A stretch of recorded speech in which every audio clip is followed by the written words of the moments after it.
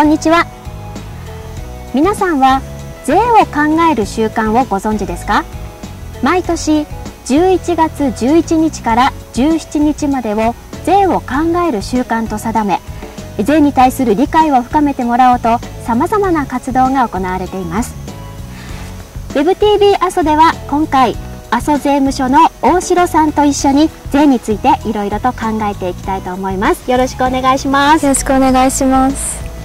えー、税を考える習慣、はい、これ実は歴史あるもので、はい、昔は呼び方が違っていたそうですね。はいそうですね、もともと昭和29年に納税者の声を聞く月間を設けたことをきっかけに、うん、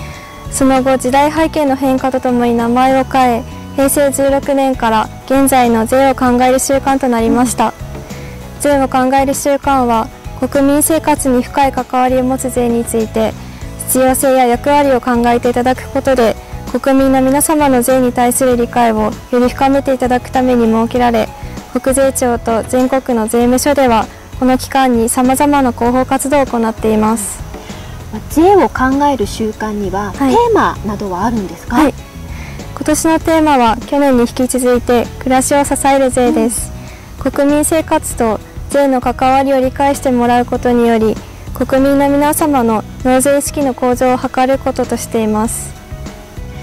えー、暮らしを支える税と言いますと、はい、具体的にはどのようなものが挙げられますか、はい、具体的には日常生活に欠かすことのできない教育や福祉警察、うん、消防道路の整備などがありますがすべて国や都道府県市町村によって提供される公共サービスや公共施設です、うんはいそれらは税金を財源とし、うん、国民の皆様の適正な申告と納税によって支えられており、うん、できるだけ多くの方に改めて暮らしの中でどのような税が使われているかを考えていただく習慣となっています、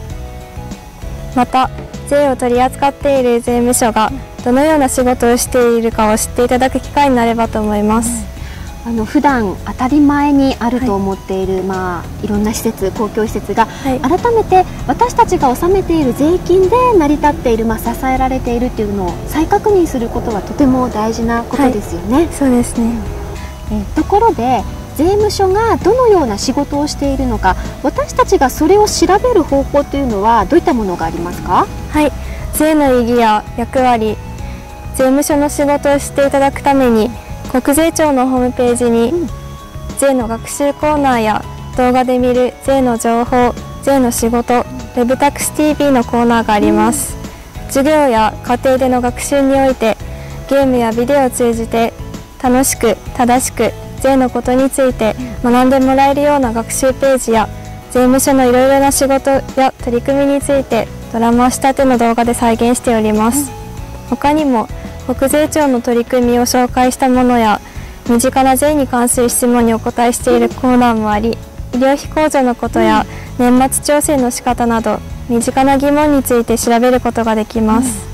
うん、あのホームページでは税の学習コーナーも充実していますしあの子どもたちへの教育といえば今年の夏に阿蘇市では税について考える租税キャンプがありましたよね。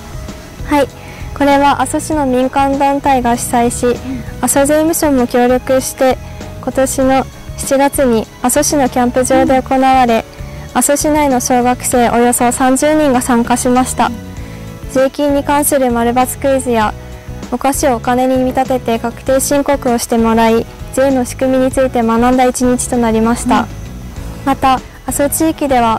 租税教育推進協議会や納税貯蓄組合連合会を中心に毎年小中高生に税に関する作文習字ポスターを夏休みに募集しています。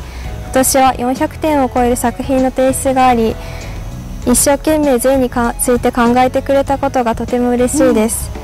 うん、今年の阿蘇市の優秀作品については税を考える週間に合わせて11月12日に阿蘇市役所で表彰式が行われました。ではここで阿蘇税務署からのお知らせです。阿蘇税務署には税務相談に多くの方が訪れますが職員は相談の他にも税金が正しく申告されているか調査をしたり滞納者への処分も行ったりしており担当職員が不在の場合があります。そこで税務署では相談の事前予約制というものを取り入れておりますのでまずはじめに税務署へ電話していただき担当者と相談日時を決めていただきたいと思います。予約なしで税務署に相談に来られた場合担当職員の不在や書類不足などの理由で再度来所いたしていただくことにもなりますのでぜひ相談の際は事前予約をお願いします。阿蘇税務署での相談については12月までの相談日程や税の種類についてお知らせ端末でも確認することができますのでぜひご覧ください。大塩さん最後に税を考える習慣の PR をお願いします。はい。税を考える習慣を機会にぜひ税について考えていただくとともに税務行政についての理解をより一層深めていただければと思います。また小中学生の習字などの優秀作品は阿蘇税務署や市役所の税務課などに展示しておりますのでぜひご覧ください。阿蘇税務署の大城さんにいろいろと教えていただきました。どうもありがとうございました。ありがとうございました。平成30年11月12日阿蘇市役所で平成30年度税に関する作品の表彰式が行われ阿蘇市内の小学生や中学生また団体などが表彰されましたこれは税を考える習慣に合わせて租税教育推進協議会や納税貯蓄組合連合会を中心に毎年この時期に開催されるもので今年度は阿蘇郡市の小中高校から習字やポスター作文などおよそ400点の応募があり阿蘇市からは6名の小学生と3名の中学生の習字の作品が入賞しました。表彰式では佐藤義興阿蘇市長から阿蘇市長賞やその他阿蘇地区租税推進協議会長賞などが贈られさらに租税教育の推進に尽力した団体として